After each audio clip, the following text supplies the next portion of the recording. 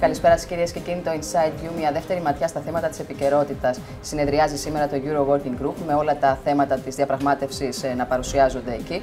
Ε, αν διαπιστωθεί τελικά πρόοδος, ε, θα δοθεί το πράσινο φως για την επάνωδο των ε, επικεφαλής των θεσμών στην Αθήνα την επόμενη εβδομάδα, ώστε να κλείσει, να οριστικοποιηθεί η συμφωνία σε τεχνικό επίπεδο. Μαζί μας ο Γιώργος Ευγενίδης, πολιτικός συντάκτης του Insider.gr.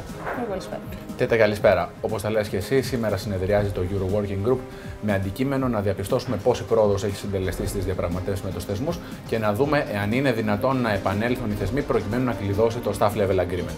Αυτό το οποίο έχουμε ως δεδομένο τέτα είναι ότι υπάρχει ουσιαστική πρόοδος στις συζητήσεις για όλα τα ανοιχτά ζητήματα της συμφωνίας. Εργασιακά, ενεργειακά, ασφαλιστικό, μοιάζουν να είναι σε μια πορεία προς το να κλειδώσουν. Δεν μπορούμε βεβαίως να μιλάμε για κλειδωμένη συμφωνία, γιατί φαίνεται ότι από χθες το βράδυ υπάρχουν ορισμένα ανοιχτά ζητήματα, κυρίως στο μέτωπο του ασφαλιστικού, ως προς το με ποιον τρόπο θα γίνει η περικοπή της προσωπικής διαφοράς. Αν θα γίνει δηλαδή εφάπαξ ή αν θα σπάσει σε ε, δύο χρόνια. Περιμένουμε να το δούμε αυτό το πράγμα και είναι κάτι το οποίο θα αποκρισταλωθεί σε τεχνικό επίπεδο.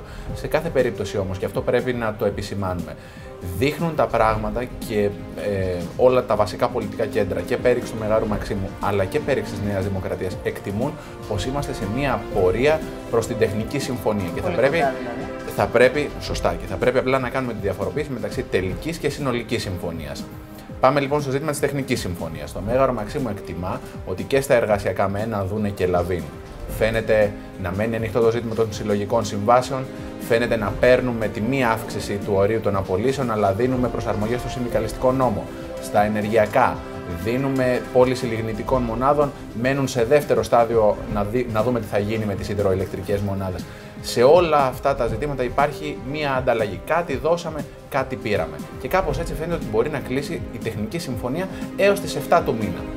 Μένει όμως να το δούμε γιατί όπως είπαμε πρέπει να επανέλθουν στην Αθήνα οι θεσμοί για να το επικυρώσουν αυτό και να κλειδώσει στο άτυπο Eurogroup στις 7 του μήνα. Όσο για το συνολικό πακέτο, αυτό τέτα πάει ρεαλιστικά για μετά το Πάσχα, είναι και το ορόσημο της Ιαρινής Συνόδου του Δούνου του και ο ρεαλιστικός ορίζοντας για την ολοκλήρωση αυτών των συζητήσεων, έτσι ώστε να κλείσουμε αυτό το κεφάλαιο της δεύτερης αξιολόγησης και με τα μέτρα και τα αντίμετρα και με το μεσοπρόθεσμο δημοσιονομικό μονοπάτι και τα μέτρα για το χρέος και πάντα να έχουμε στο μυαλό μας το ζήτημα του QE, το οποίο είναι κεφαλαιόδες για την κυβέρνηση, πάμε για τις 22 Μαΐου.